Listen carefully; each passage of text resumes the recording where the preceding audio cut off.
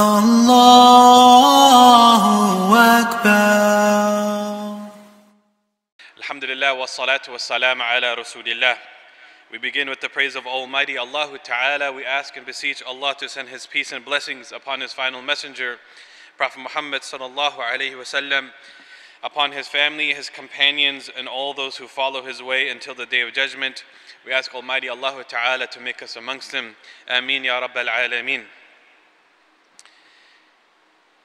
I was uh, joking earlier with some friends that uh, they gave us the most uh, difficult uh, topic early in the morning, inshallah ta'ala.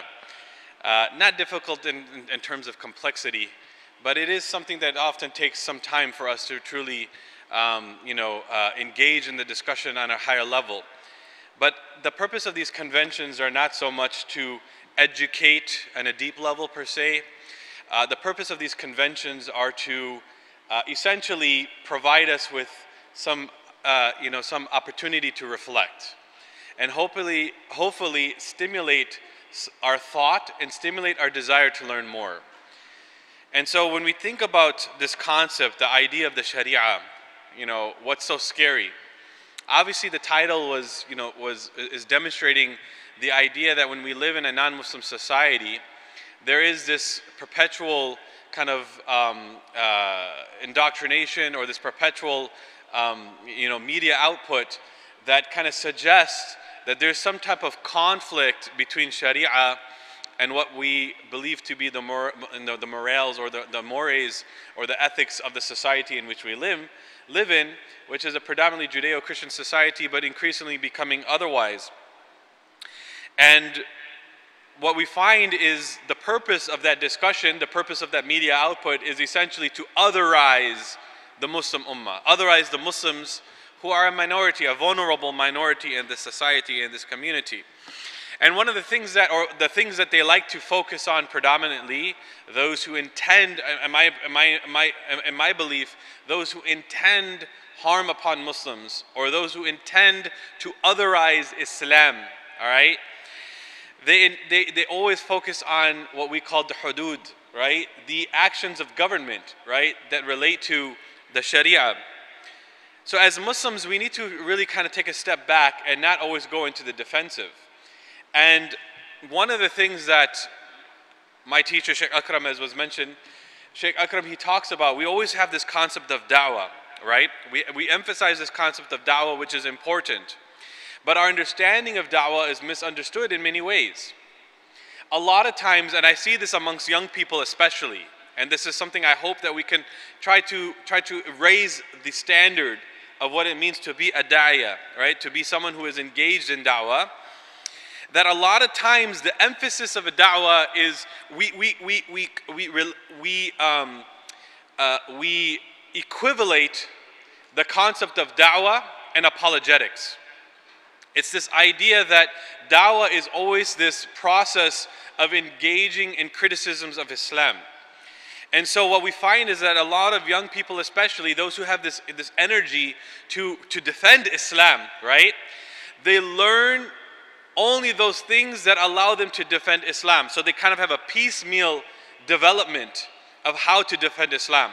So, all, so their entire their entire process of education is learning the criticisms of Islam and how to answer the criticisms of Islam. And that's not a natural process of education. That's not a holistic process of education.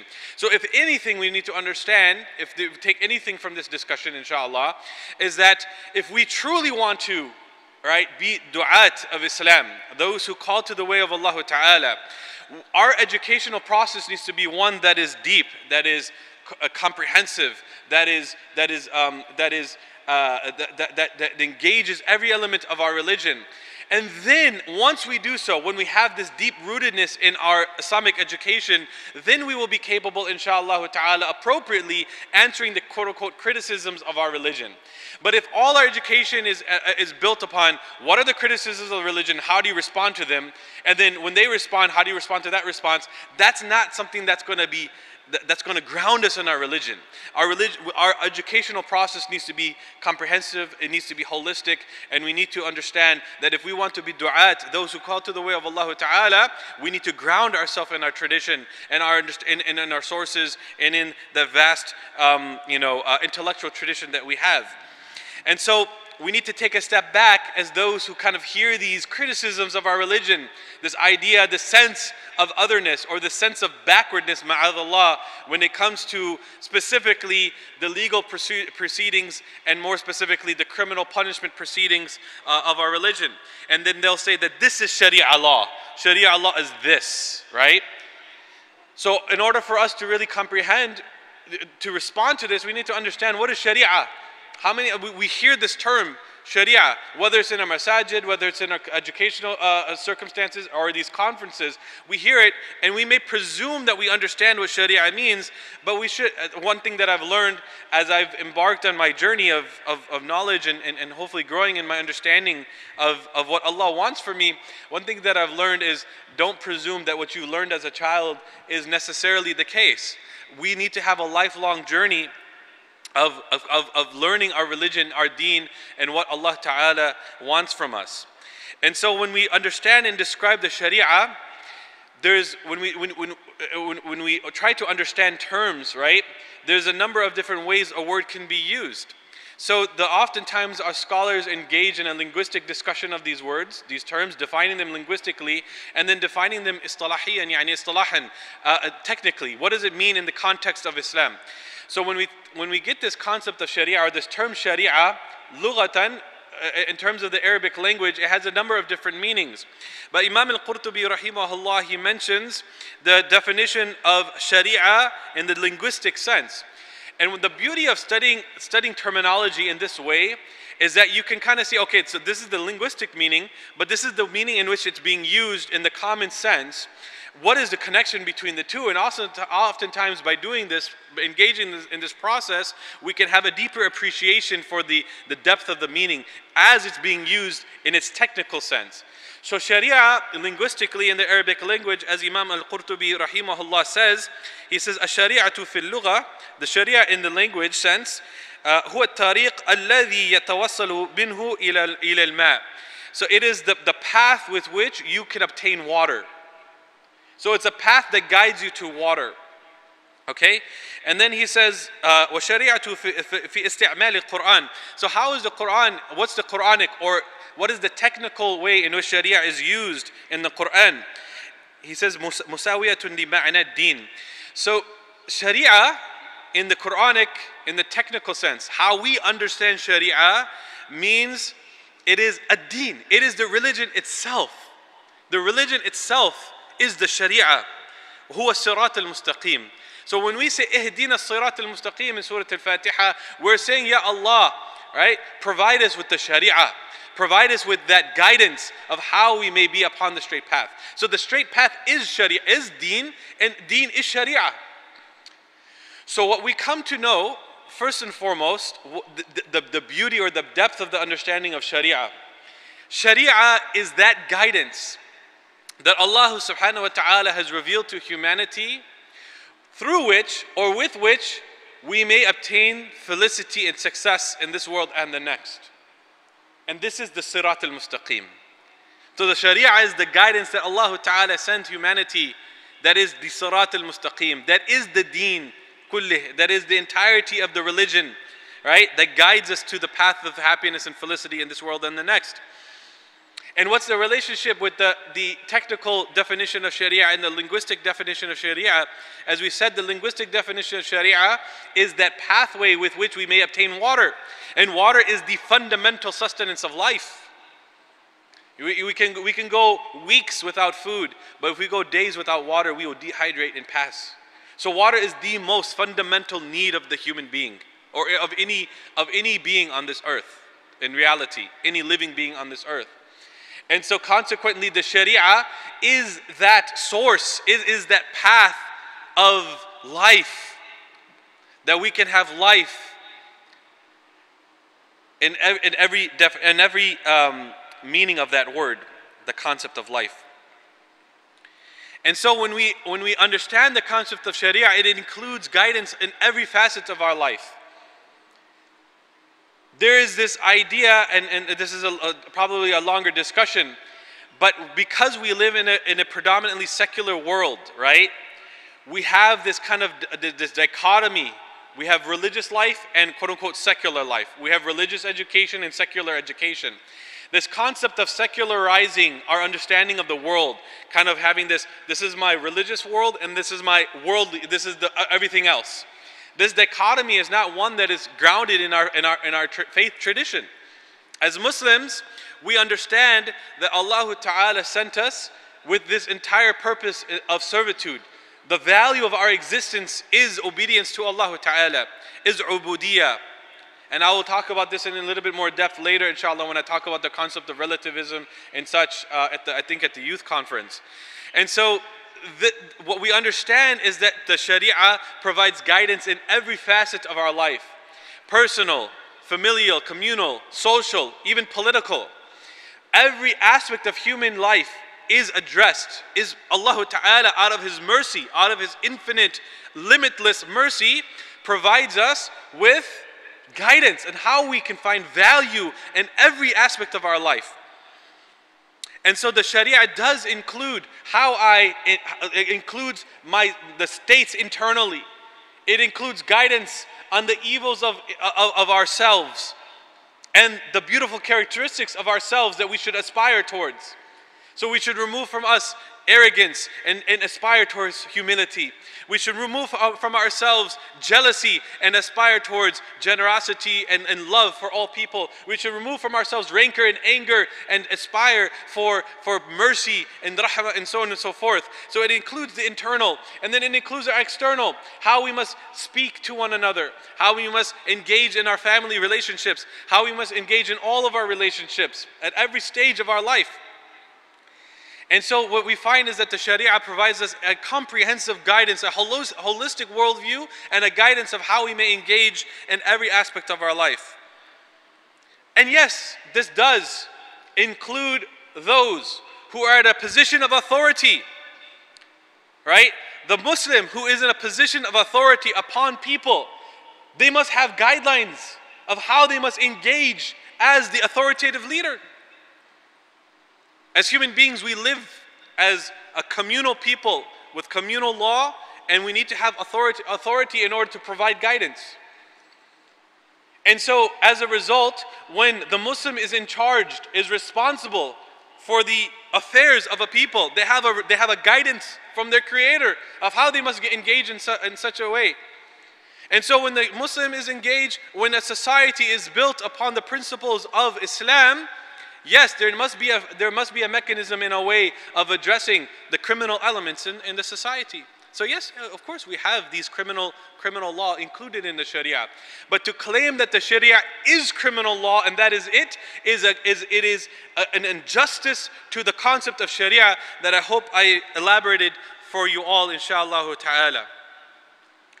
So then the next state is as we come to understand what Sharia is, you know, what, is the value in the Sharia? And so our ulama, our great giants, intellectual giants of our history, they surveyed the entirety of its Islamic guidance from the Quran and the Sunnah, the sources of our guidance, revelation. And they and they observed them and they and, and, and they and they and, and they engaged in a process of reflection and what they found is that if you look at the entire, if you survey the entirety of the Sharia, the revelation from Allah Ta'ala, the religion, the guidance, right? The Sirat al Mustaqim, the deen that Allah subhanahu wa ta'ala has provided out of His infinite mercy for humanity. If we look at the entirety of the guidances and the, uh, the, the teachings Allah Ta'ala has given us, the ulama have summarized the fundamental objective and purpose of this entire Sharia. And they have said, Rahimahumullah, the purpose of the Sharia, the fundamental purpose of Sharia is تحقيق مصالح العباد في المعاش والمعاد. This beautiful statement that if you look at the entirety of the guidance fr- from our Creator, its entire objective and purpose is what? تحقيق مصالح مصالح العباد في المعاش والمعاد. This is key. The second part especially. The entire purpose of the Sharia, if you were to summarize it in one sentence, is to affirm or to establish the masalih al-ibad, the benefit of the- his creation. في المعاش والمعاد. In this life and the next.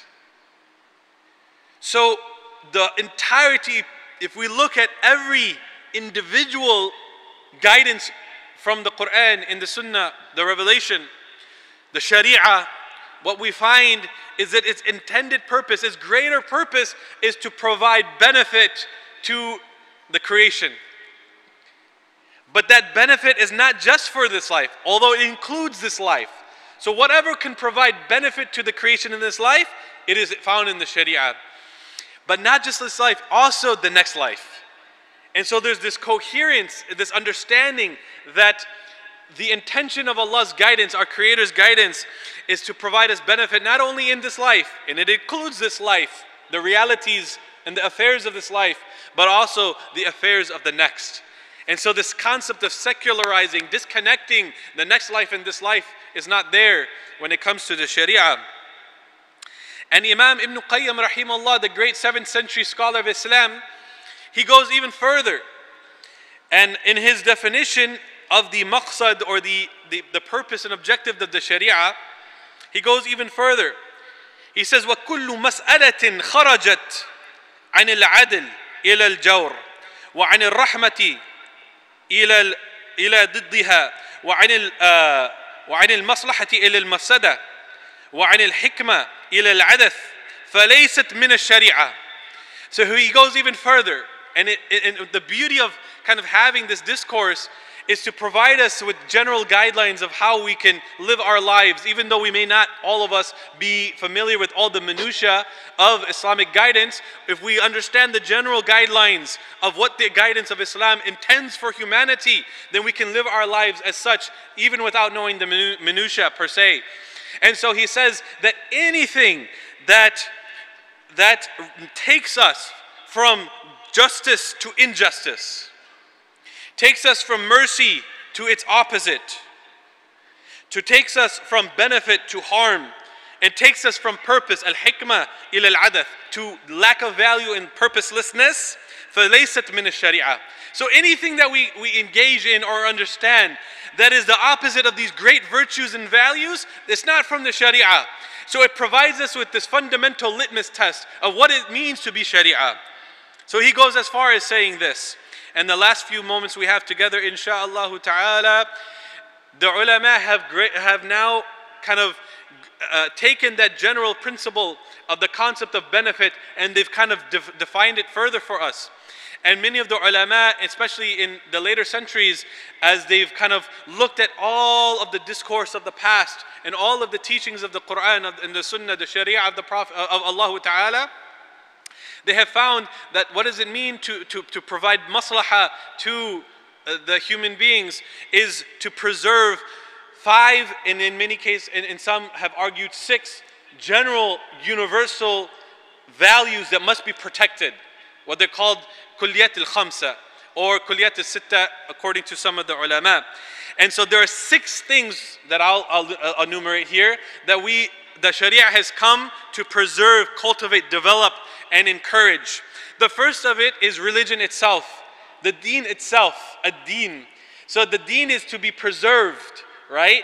And so when you look at all of these sub, sub teachings of Islam, all of the, the, the individual teachings of Islam, you can kind of have a sense that it come to, to provide benefit and cultivation of one of these or multiple of these six things. The first is deen, religion. The second is life. The Sharia has come to preserve, cultivate, and, and develop life. The intellect, al-aql, the Sharia has come to preserve, cultivate, and, and enrich the aql, the intellect of the human being. This is far from the atheistic, you know, narrative that religion is anti-rational. La, it, it is, our deen is, is at the pinnacle of rationality. And fourthly, the family. The Sharia has come to preserve, cultivate, and, and, and enrich the family. And, and, third, and, four, and fifthly, the wealth, al-mal, the wealth of the human being. Wealth is an important element. We're not this anti-dunyawi type of religion. We understand that wealth provides us with stability. And so to enrich wealth of the human being is important.